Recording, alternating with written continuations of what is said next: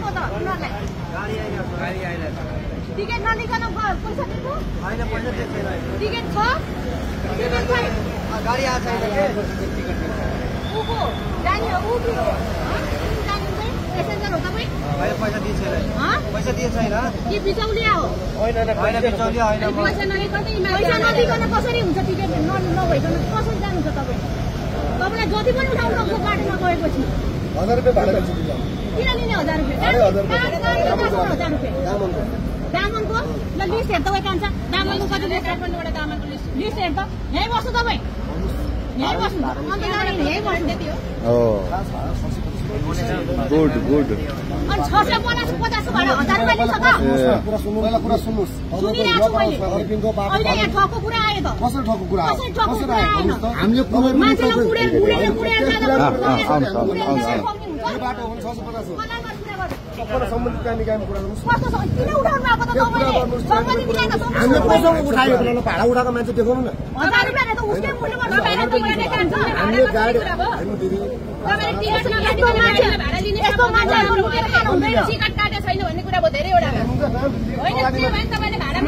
भाडा त। भएको सुन्नुहोस्। भाडा देखाउनु न। गाडी आयो भने हामीले हजार रुपियाँ पर्छ लामो ल्याएको छ भने हामी प्यासेन्जरसँग कन्भिन्स गरेर भाइ हाम्रो गाडी आउँदैन। तपाईँहरू छ सय पचासमा कुन गाडी आउँछ? त्यसमा हो जान्छ यो त ब्ल्याकमेल हो नि त अरे। किन किन गाडी नै छैन हाम्रो? किन गाडी न- किन गराएको त गाडी छैन भने? उहाँहरूलाई हामी अघिदेखि के भनेको त यथार्थ कुरा भने त हो त अहिले आएर अब फेरि गाडी छैन जानु भनेर त यो राम्रो कुरो भएन नि त। होइन, तपाईँ अब- नेपाल सरकारको नेपाल भूमिमा बसेर तिमी ब्ल्याकमेल गर्ने? सबैजना पुग्ने चाहिँ होइन। भगवान्मा राम्रै गरेर हिँडेको तिमीले अहिले हजार रुपियाँ भनेर जाँदैन भनेर मानव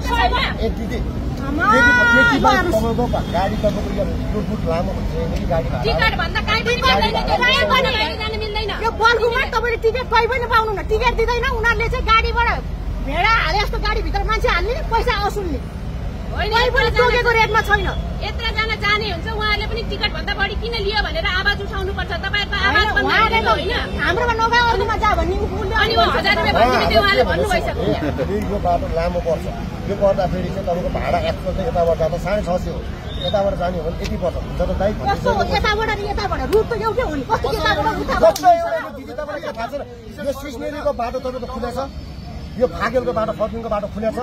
छैन नि। तपाईँको यो बाटो गयो भने तिन घन्टामा पुग्छ। यो बाटो साढे पाँच घन्टा त पाँच घन्टा पाँच घन्टाको बाटो अब प्यासेन्जरहरू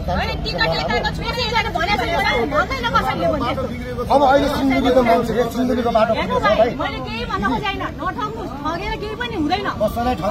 हामीले उहाँहरूलाई भनेर नै त काटेको हो त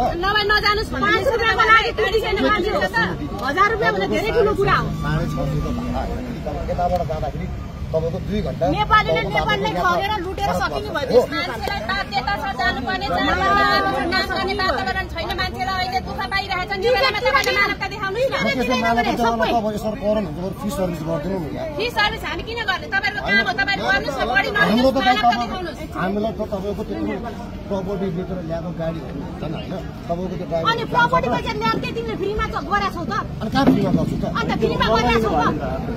दसैँ आयो भन्दैमा तिमीलाई चाहिँ अनि अर्काको चाहिँ दशा अर्काको लागि दशा उत्पादन गर्ने हो त तिमीले कसलाई उत्पादन गरेको छु भने हामीले कसैसँग टिकटै काटेको छैन कसैसँग त्यो गरेकै छैन।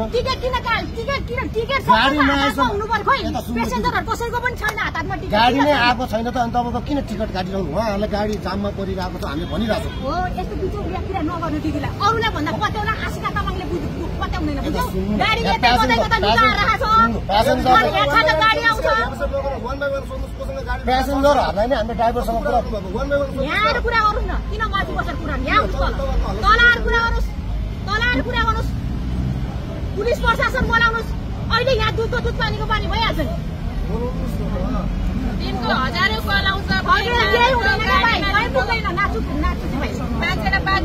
जानुपर्ने आउँछ हजार दुई हजारवटा आउँछ तिमीले हामीलाई बाध्यता छ बुढाबुढी भएको बाबुमा भेट्न जानुपर्ने पैसा छैन तपाईँहरूले भन्नु पर्यो टिकट चाहियो हामीलाई भनेर फटाइदिनु न फुटाइदिनुहोस् त्यो काउन्टरसँग। फुटाइदिनुहोस् के भएर तपाईँलाई टिकट तपाईँ यहाँबाट काठमाडौँबाट वीरगञ्ज पुगेपछि तपाईँलाई टिकट चाहियो त्यो पनि छ सय पचास जति लेखा छ सरकारी भाडा त्योभन्दा बढी एक रुपियाँ पनि तिर्ने होइन तपाईँलाई के आकाशबाट आउँछ पैसा आउँछ आउँदैन नि हामी चाहिँ पानी पनि नखाइकन हिँडेका हुन्छौँ तपाईँहरूको लागि हिँडेका हो। हाम्रो लागि होइन तपाईँहरू जनताको लागि हिँडिरहेको छन् तपाईँहरूले पनि आवाज होइन सही हो।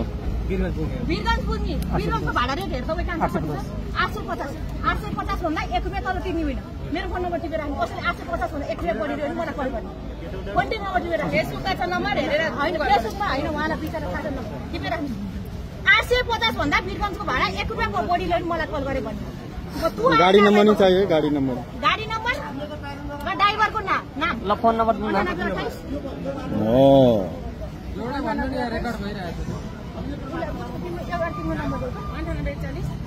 होइन पैसा त ल्याउने ल्याउने भनेर यसले गाडी छैन जानु भनेर कुराएर कुराएर यार मान्छेको मान्छेको त के भन्छ समयको त्यही त समयको त कुनै महत्त्वमै भएन। दुई हजार रुपियाँ दिन्छु भन्दा अहिले यहाँ गाडी? अनि छ।